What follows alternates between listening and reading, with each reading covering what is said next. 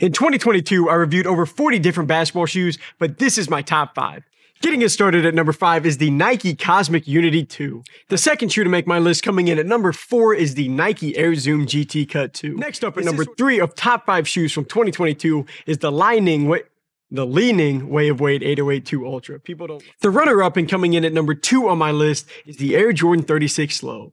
Finishing off this list at the top of the food chain for the second straight year is the Puma Melo Ball 2 or the MB.02.